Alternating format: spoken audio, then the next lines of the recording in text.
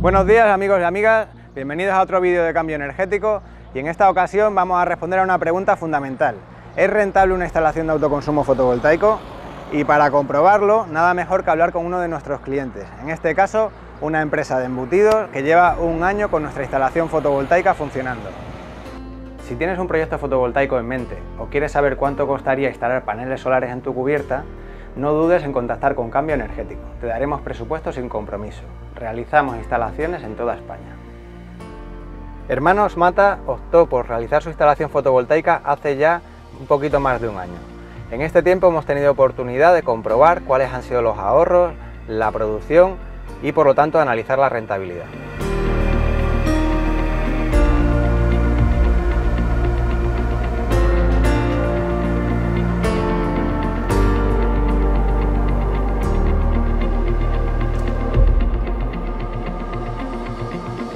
Bueno Javier, pues nos encontramos aquí en la empresa Hermanos Matas e Hijos, en Mirabel, en Cáceres. Nos dedicamos a la fabricación y elaboración del cerdo ibérico. Tenemos nuestras propias fincas, criamos nuestros cerdos, los cebamos, cebo de campo y bellota. Y luego, como, como verás aquí, tenemos nuestra cámara de salazón, los salamos aquí, nuestra bodega en secaderos naturales, lo hacemos todo el proceso aquí, hasta el envasado final en nuestra propia tienda, incluso en la página web. Y ese proceso tan completo, desde el campo hasta la tienda, supongo que tiene un requerimiento energético bastante Pues sí, la verdad Javier es que el consumo es muy alto, porque matamos todas las semanas del año, eh, por nuestro proceso realmente de cámara de salazón, secadero, necesitamos mucho frío y necesitamos mucho consumo muchísimos meses al año, claro.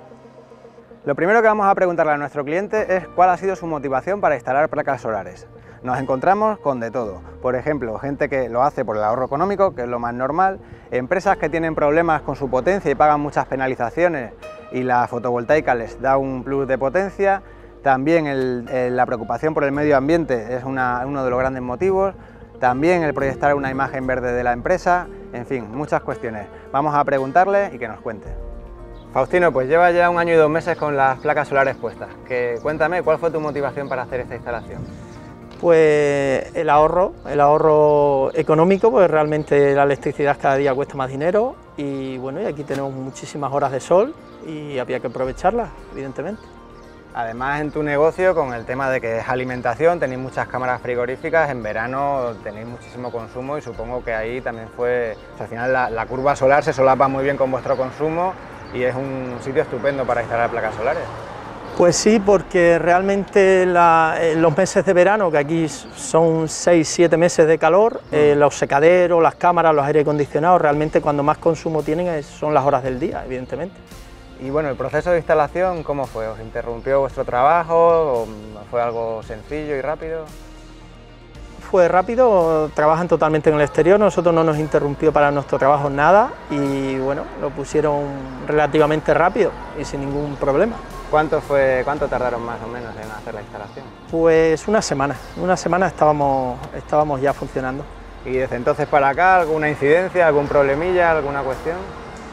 No, eh, mantenimiento cero, no hemos tenido ninguna avería, nada de nada, de momento nada. Bueno, pues ahora que sabemos que todo el proceso de instalación fue perfecto, vamos a ir a la oficina y vamos a revisar los números, la producción y cuál ha sido el ahorro económico real. Si se trata de comprobar los ahorros, de ver los datos de producción y los datos de consumo, tenemos que fijarnos en la monitorización. En este caso estamos utilizando SolarAid. En esta plataforma podemos ver exactamente cuál es el consumo del cliente, cuál es la producción de las placas solares y cuál es la demanda de la red eléctrica. Eso podemos verlo de manera instantánea, podemos verlo también de manera diaria, semanal, mensual o anual. De esta manera podemos comprobar cuáles han sido los ahorros, cuál ha sido la producción fotovoltaica y cuál ha sido el consumo. Importante, para saber la cantidad de paneles solares que tenemos que poner en una instalación, vamos a hacer un estudio previo. Este estudio previo se hace con todos nuestros clientes y en él se estudian exactamente los consumos del cliente y vamos a hacer una optimización de la instalación, de tal manera que produzcamos el mayor ahorro posible con la menor inversión posible. En este caso tenemos el, estudio de los hermanos Mata que realizamos hace un año y pico y en él podemos observar que el ahorro que eh, en su día eh, estudiamos y que calculamos está en torno a un 41% del consumo eléctrico. Así que ahora, viendo los datos reales, vamos a comprobar si este, si este ahorro se ha cumplido o no se ha cumplido. Según los datos de la plataforma SolarAid y también corroborados por, por los datos de la factura eléctrica, el consumo total medio de los hermanos Mata mensualmente ha sido de 7,19 megavatios hora. De estos 7,19 megavatios hora hemos importado de la red 4,5, es decir, un 62% del consumo total.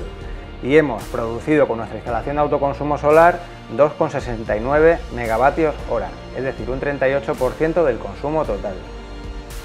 Según nuestro estudio de ahorro energético, obteníamos una estimación de un 41% de ahorro. Según los datos reales aportados por la plataforma de SolarAid y por la factura eléctrica, el ahorro ha sido de un 38%. Consideramos que esta pequeña desviación es todo un éxito, porque realmente se basa en estimar unos consumos a partir de unas facturas que con el tiempo pueden variar. Así que eh, vamos a ver qué opina Faustino de esto. Bueno Faustino, después de un año y dos meses con las placas solares instaladas y después de haber revisado estos números, ¿cómo valoras la inversión que habéis realizado?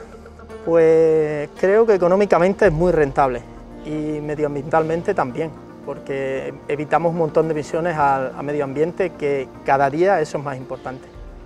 Muy bien, veo que Hermanos Mata es una empresa también muy concienciada con todo esto, ¿verdad? Pues sí, la verdad es que sí, eso cada vez es más importante. Muy bien, Faustino, pues muchas gracias por habernos atendido, por habernos mostrado este ejemplo de éxito y, y nada, a seguir trabajando y nos vemos próximamente. Gracias a vosotros.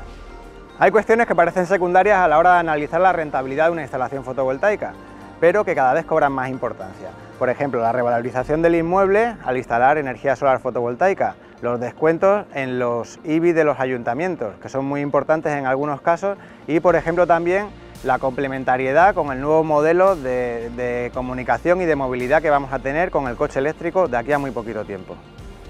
Esperamos que este vídeo os haya ayudado a despejar dudas sobre la conveniencia o no de instalar placas solares, que os animéis a hacerlo y además que contéis con cambio energético.